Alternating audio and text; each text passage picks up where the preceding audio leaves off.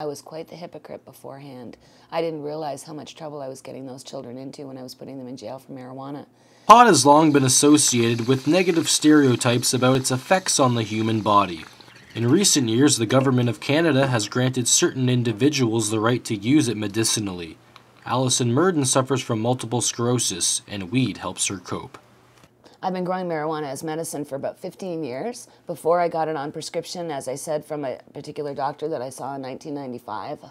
And then when I got my license in the year 2000, I also got a possession license and a grow license at the same time. Alison was kind enough to walk us to the grow room on the second floor of her home. Many people suffering from multiple sclerosis often experience extremely painful muscle spasms. Alison is no different, but has been able to find some peace. Medical marijuana is gaining more popularity amongst people suffering from a variety of debilitating diseases. It seems today that more and more people are getting prescribed the drug, but how long will it be until marijuana is truly accepted as a medical remedy?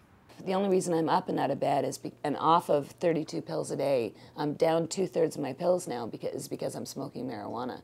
Although Alison smokes pot around the clock, she still must take a variety of other medications to alleviate her daily pain.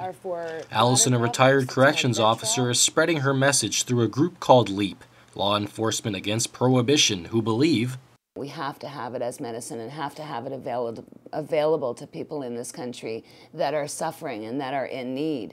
So far, only patients in extreme cases have been granted the right to use marijuana. It is still a long road ahead for medical pot in Canada, but the journey continues. Evan Buchanan, Burlington.